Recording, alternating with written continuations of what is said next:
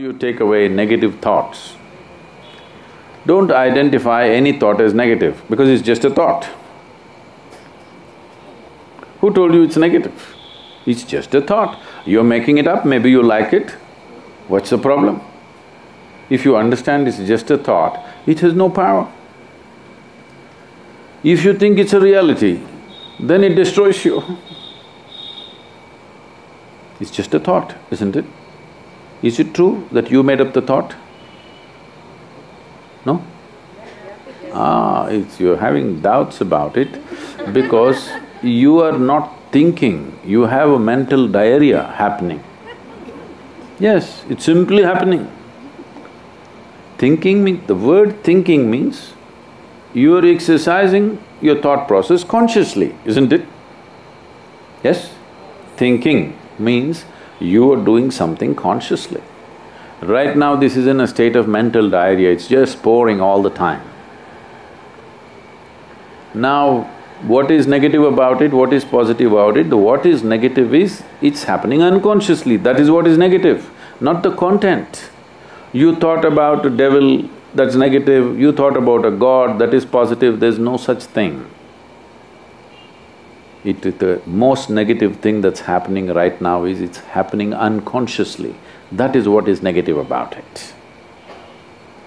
And uh, a whole lot of people have destroyed themselves trying to stop those thoughts that they think are negative. And they try to fight them in so many different ways. You create these things and then you fight them. It's your thought. You must be able to throw it and roll it back whenever you want, isn't it? You must be able to roll it out and roll it in as you want. But right now, your own ghosts have become so big that you want to fight them. If you win, you're really lost. Because something that is not true, if you fight and win it, you have really lost it, isn't it? So there is no such thing as negative and positive thought. Either it's a conscious thought or it's a diarrhea. So, how to stop this? See, suppose you are having diarrhea, gen… physical diarrhea. First thing to do is, every other treatment is next. First thing to do is stop eating bad food, isn't it? Hmm? Something caused diarrhea, first thing is stop eating bad food, whatever caused this, stop that. This is the first thing you must do.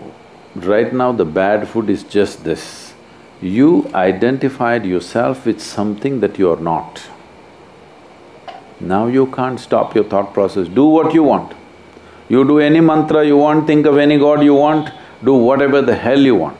The moment you identify yourself with something that you're not, you cannot stop your mind.